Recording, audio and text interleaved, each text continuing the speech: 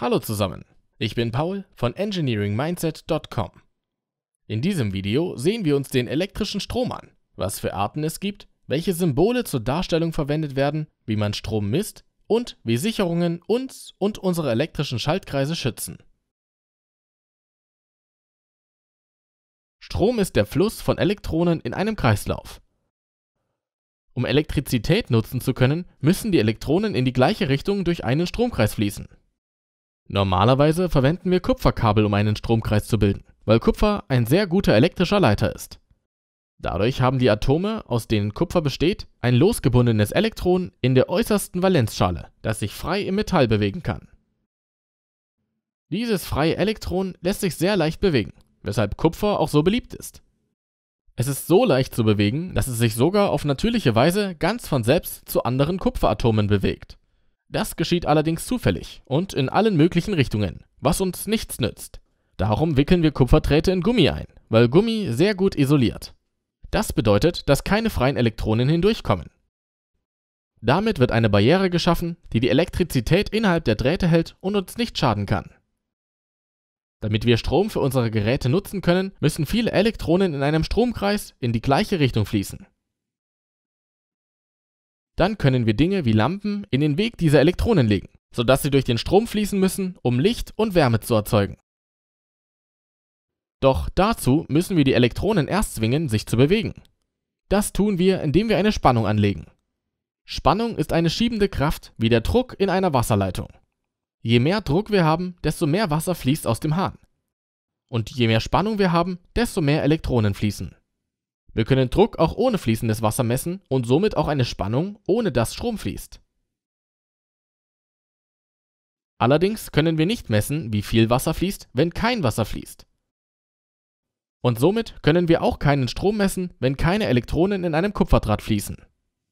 Zwischen den beiden Enden gibt es keinen Spannungsunterschied, sodass sich die freien Elektronen frei bewegen. Diese freie Bewegung wird nicht als Strom betrachtet, aber wenn wir eine Batterie von, sagen wir, 1,5 Volt nehmen und den Draht über diese beiden Anschlüsse verbinden, gibt es jetzt eine Differenz von 1,5 Volt über den Draht. Und diese Differenz zwingt die Elektronen dazu, in die gleiche Richtung zu fließen. Die Grundlage zum Thema Spannung haben wir bereits in unserem vorherigen Video ausführlich behandelt. Die Links dazu findet ihr in der Videobeschreibung. Wir brauchen also viele Elektronen in einem Stromkreis, die durch unsere Lampen fließen, damit sie hell leuchten können. Aber die Kabel und die Lampe können nur eine bestimmte Menge an Elektronen durchlassen. Genau wie ein Rohr, das nur eine bestimmte Menge an Wasser oder einen bestimmten Druck standhält. Wäre die Menge größer, würde die Leitung einfach platzen. Und wenn zu viele Elektronen durch das Kabel oder die Lampe fließen, platzen sie auch oder brennen durch. Ein Elektronenfluss wird Strom genannt und den messen wir in der Einheit Ampere. Darum wird das auch mit einem großen A angegeben. Diese Sicherung hat zum Beispiel eine 3 und ein großes A. Das bedeutet, dass sie für 3 Ampere Stromstärke ausgelegt ist. Wir werden uns gleich in diesem Video noch ansehen, wie Sicherungen funktionieren.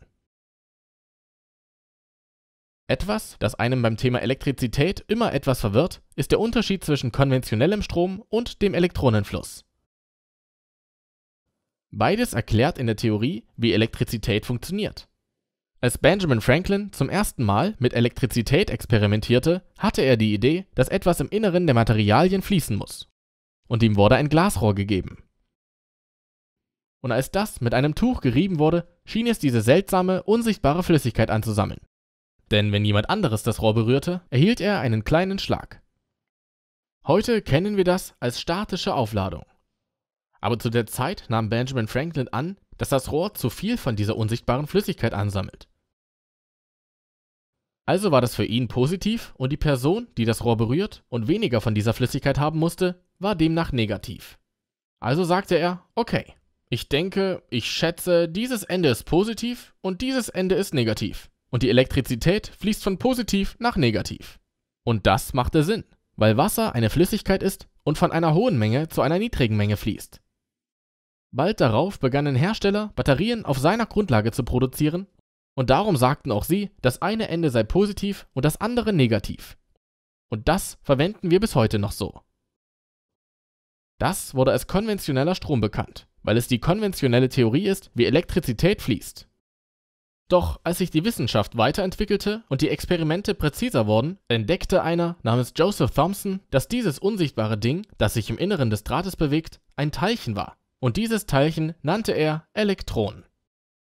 Er entdeckte auch, dass diese Elektronen tatsächlich in die entgegengesetzte Richtung, also von negativ zu positiv fließen. Benjamin Franklin hatte nicht erkannt, dass das Seidetuch die Elektronen aus dem Glas entfernte, sodass sie eigentlich von der Person zum Glasrohr fließen.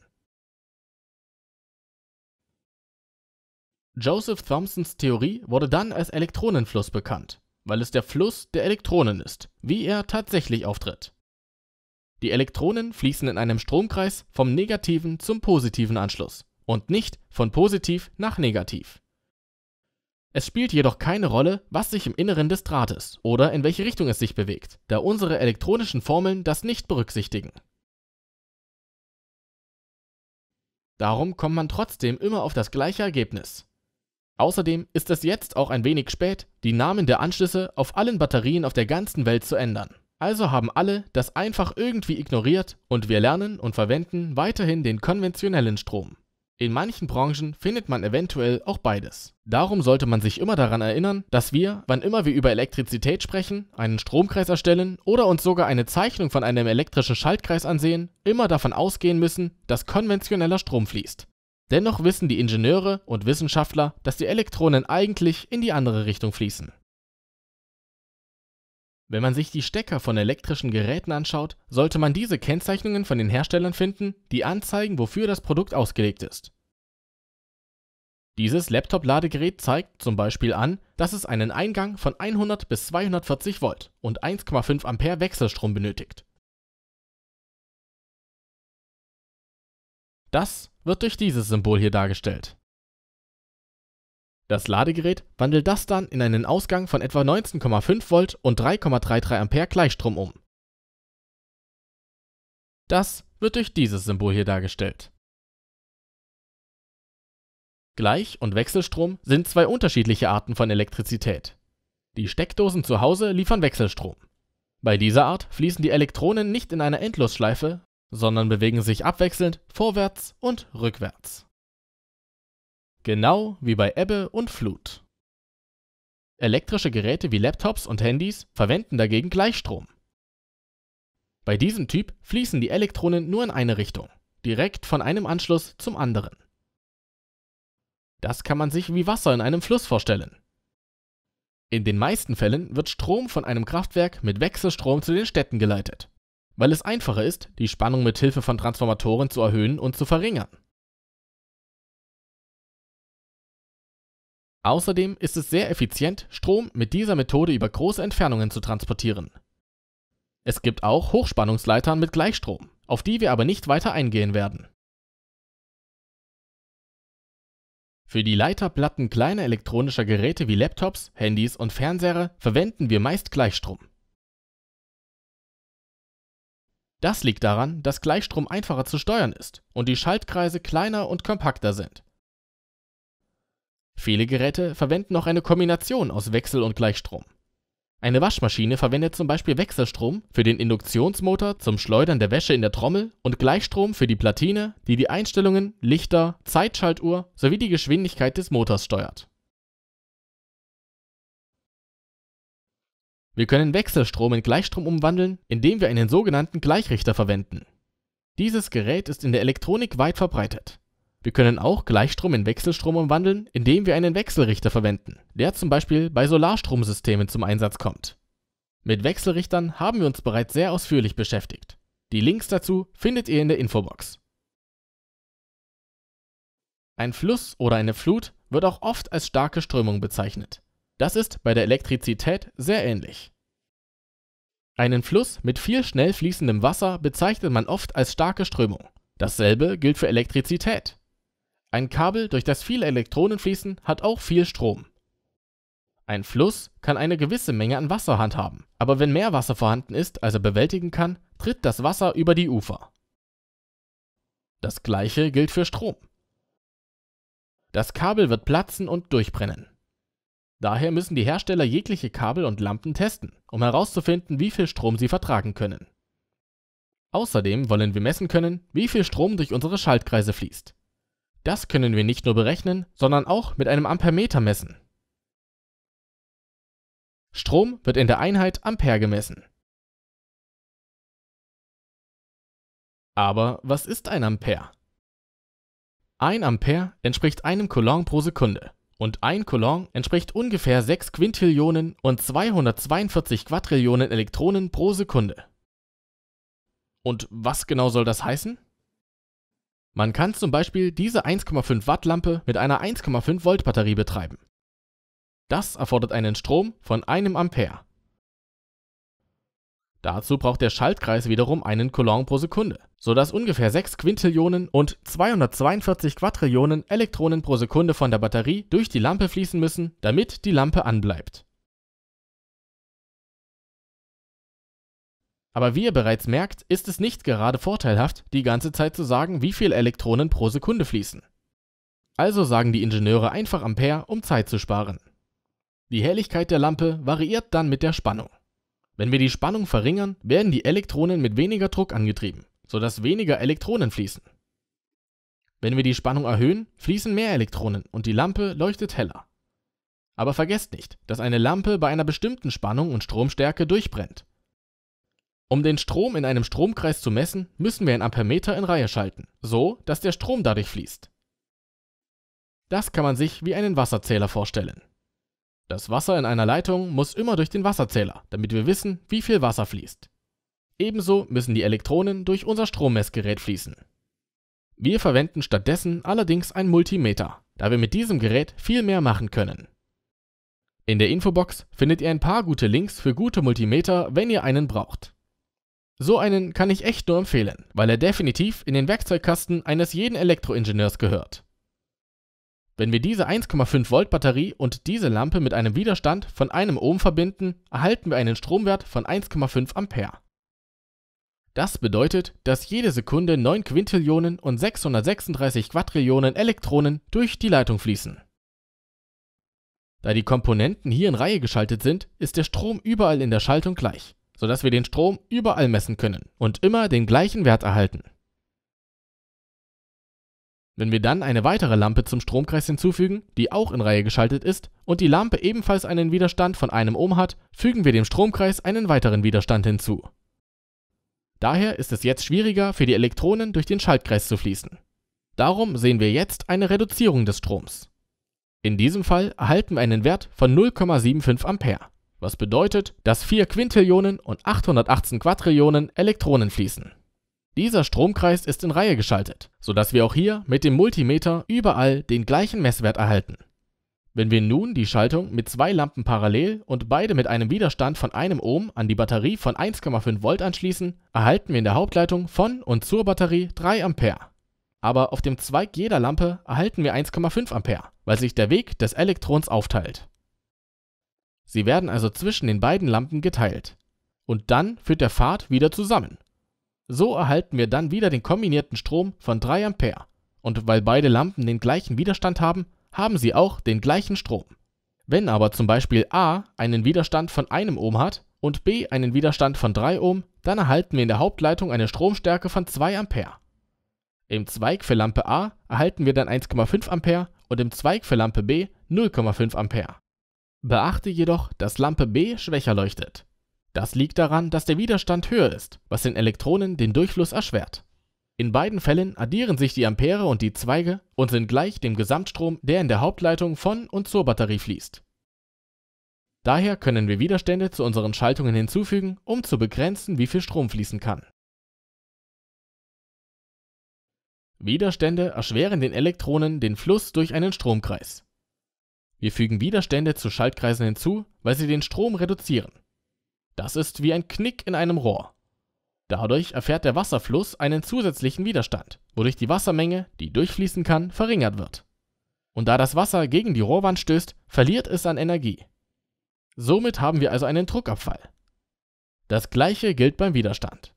Das Material erschwert den Elektronen den Durchfluss. Die Elektronen prallen daran ab und verlieren an Energie, so dass ein Spannungsfeld entsteht. Diese verschwendete Energie muss irgendwo allerdings hingehen. Und das macht sie in Form von Wärme. Wenn wir uns einen Widerstand durch eine Wärmebildkamera ansehen, können wir sehen, dass Wärme austritt. Diese LED ist zum Beispiel für maximal 22 mA oder 0,022 A ausgelegt. Die wollen wir an eine Stromversorgung mit 9 Volt anschließen.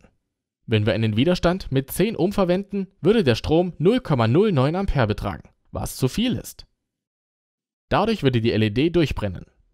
Wenn wir allerdings einen Widerstand mit 450 Ohm verwenden, liegt der Strom bei 0,02 Ampere, was unter dem Grenzwert liegt. Das sollte also gehen. Bei einem Widerstand mit 900 Ohm beträgt der Strom 0,01 Ampere, was viel zu niedrig ist, sodass die LED nicht hell leuchten kann.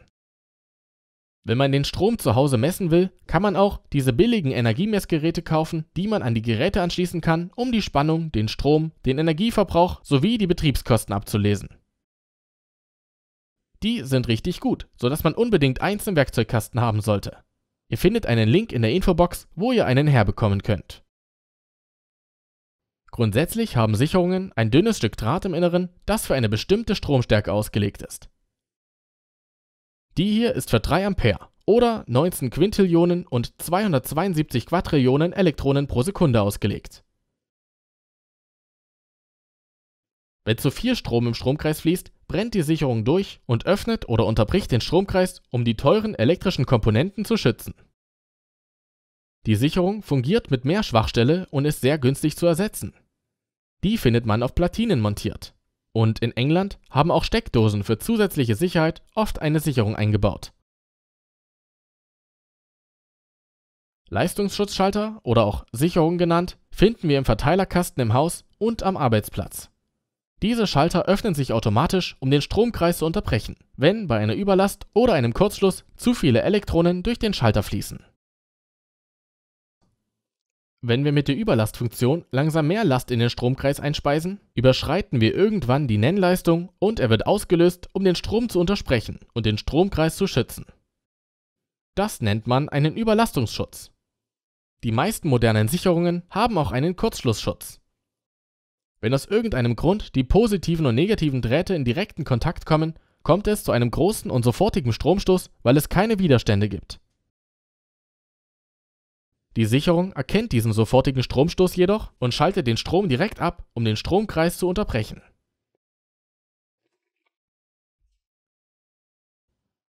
In Nordamerika gibt es auch ein weiteres Gerät, das GFCI oder Ground Fault Circuit Interrupter genannt wird. In Europa bezeichnet man das als RCD oder Fehlerstromschutzschalter. Die überwachen und vergleichen im Grunde genommen den Strom in der Zu- und Rückleitung in einem Stromkreis. Wenn der zurückkommende Strom nicht gleich dem zugeführten Strom ist, hat der Strom einen anderen Weg gefunden und verlässt den Stromkreis. Da er zum Beispiel durch eine Person fließen könnte, unterbricht das Gerät den Strom. Das geht extrem schnell und mit einer sehr kleinen Toleranz, um uns vor Stromschlägen zu schützen und uns abzusichern. Okay, das war's für dieses Video. Aber wenn du noch mehr über Elektrizität und Elektrotechnik lernen willst, kannst du jetzt eines der Videos auf dem Bildschirm anschauen. Wir sehen uns dann dort für die nächste Lektion. Und vergesst nicht, uns auf Facebook, Twitter, LinkedIn, Instagram und engineeringmindset.com zu folgen.